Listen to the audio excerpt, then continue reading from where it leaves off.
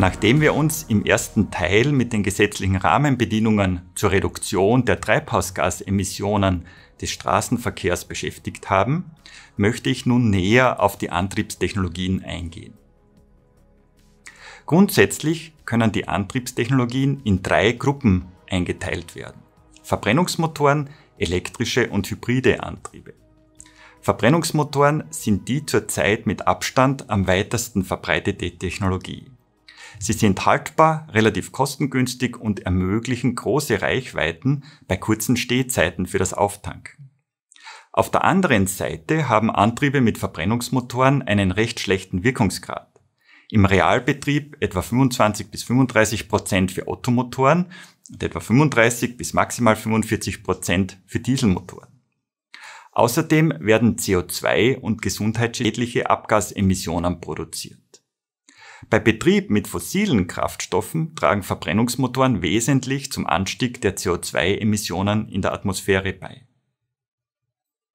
Elektrische Antriebe erreichen mit etwa 60 bis 80 Prozent eindeutig höhere Wirkungsgrade, was den Gesamtenergieverbrauch deutlich senken kann.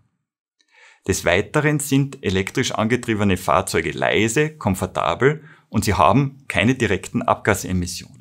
Die Herausforderungen bei elektrischen Antrieben liegen in den hohen Produktionskosten, speziell der Batteriesysteme, und den im Vergleich kürzeren Reichweiten. Ein wesentlicher Punkt hinsichtlich der Nachhaltigkeit ist die direkte Abhängigkeit der CO2-Bilanzen von der Technologie zur Stromerzeugung.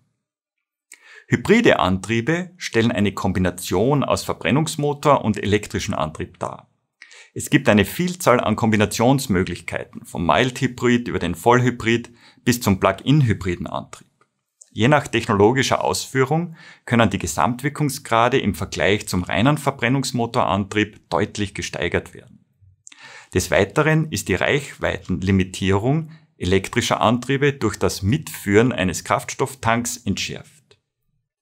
Hybride Antriebe werden von vielen als Übergangstechnologie hin zu rein elektrischen Antrieben gesehen.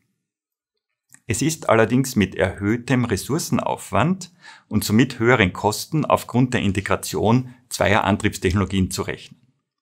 In der Praxis zeigt sich, dass der reale Verbrauch bei hybriden Antrieben stark vom tatsächlichen Nutzerverhalten abhängt. Vergleicht man das Antriebssystem eines Pkw mit Verbrennungsmotor und eines elektrischen Autos, fällt auf, dass das Elektrofahrzeug mechanisch deutlich einfacher aufgebaut ist. Beim konventionell angetriebenen Fahrzeug haben wir den Verbrennungsmotor mit einer langen Liste an komplexen mechanischen Bauteilen, wie den Kurbeltrieb, Ventiltrieb, Schmierung, Zylinder, Zylinderkopf und Gehäuse. Des Weiteren haben wir ein schaltbares Getriebe, das Tanksystem und das Abgassystem. Beim Elektrofahrzeug haben wir das Batteriesystem als Energiespeicher, die Leistungselektronik, den Elektromotor und ein einfaches, oft nicht schaltbares Untersetzungsgetriebe. Das Elektrofahrzeug hat zwar weniger Komponenten im Antriebsstrang, allerdings ist speziell das Batteriesystem sehr aufwendig in der Herstellung, sowohl was die Rohstoffe als auch was die Herstellungsprozesse betrifft. In einer groben Abschätzung kann man festhalten, dass das Batteriesystem alleine etwa 30 bis 50 Prozent der Kosten des gesamten PKWs ausmacht. In Abhängigkeit des Fahrzeugstyp, der Ausstattung und natürlich der Speicherkapazität der Batterie.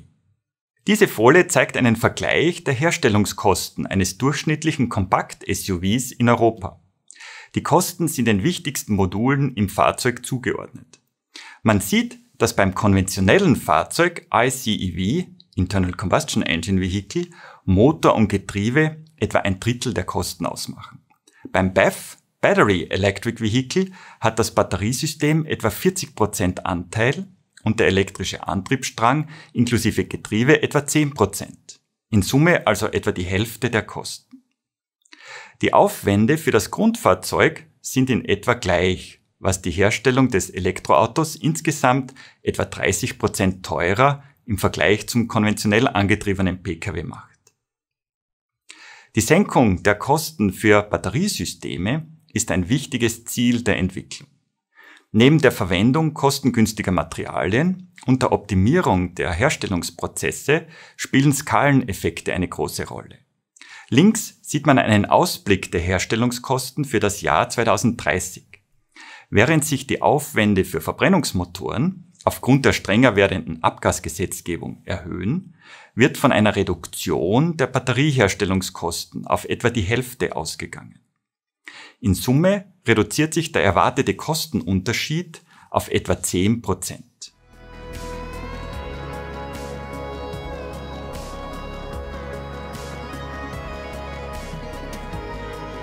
Zusammenfassend kann festgehalten werden, dass bei verbrennungsmotorischen Antrieben in den nächsten zehn Jahren ein reduziertes Wachstum zu erwarten ist. Ab 2035 werden in Europa, nach heutigem Stand der politischen Vorgaben, keine neuen Fahrzeuge mit Verbrennungsmotoren mehr verkauft.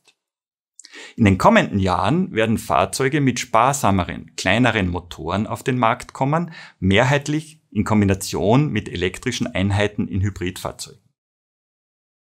Dieselmotoren werden zu Nischenprodukten in schweren Pkw und Nutzfahrzeugen. Der Anteil an rein elektrischen Fahrzeugen wird in den nächsten Jahren stetig zunehmen, was eine Herausforderung für die Ladeinfrastruktur darstellen wird. Die Fahrzeugindustrie wird transformieren und neue Zulieferer und Wertschöpfungsketten werden aufgebaut. Dies stellt eine große Herausforderung für alle involvierten Unternehmen, Zulieferer und Dienstleister dar.